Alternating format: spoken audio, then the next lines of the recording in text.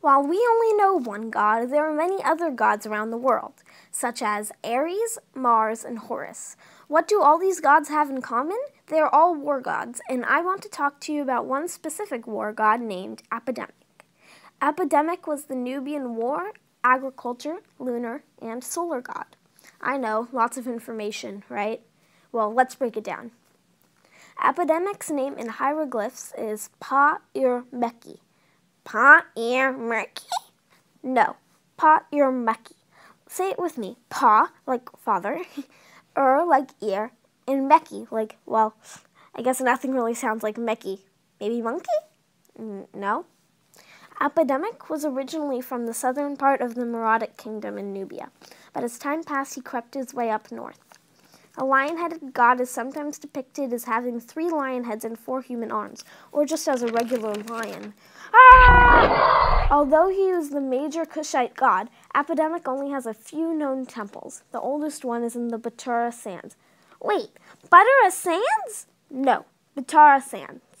Anyway, his oldest temple is there in the city of Musawarat el Sufara, which is actually an Egyptian word. Strange, right? It was built in the end of the 3rd century BC, so Apedemak is a relatively new god. Some other temples of his are in Nakwa, near the 6th cataract in Sudan.